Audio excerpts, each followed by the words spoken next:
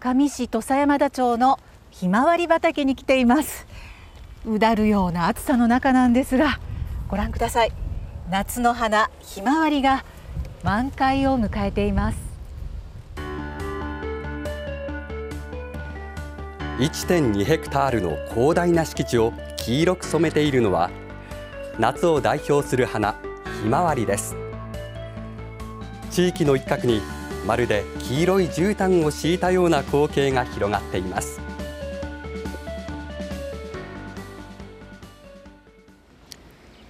仲間とともにこのひまわり畑を作ったのは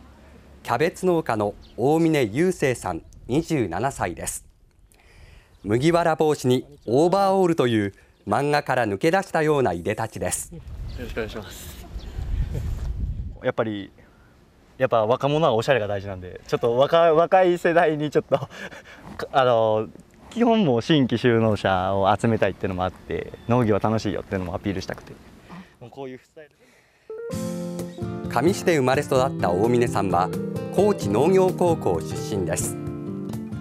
植物が種から収穫できるまでの過程がすごい楽しくてそのやっぱり自分が手をかけないといい状態の野菜ができないと。かなんかそれがすごい楽しくて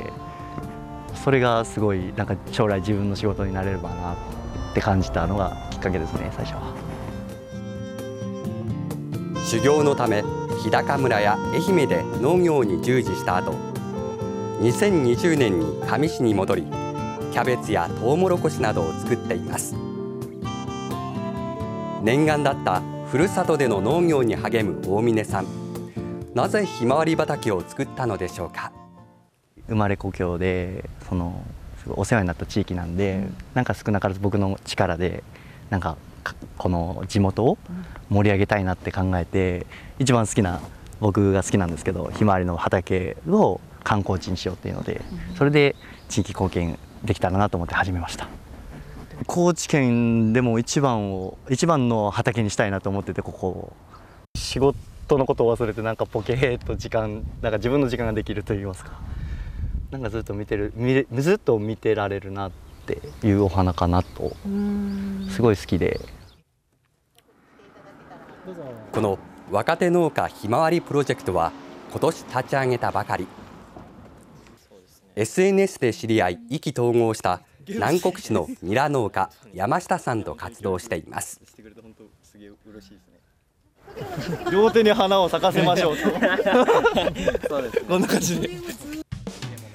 5月上旬に手作業で32万個の種をまき草刈りなどの手入れをしてきた2人。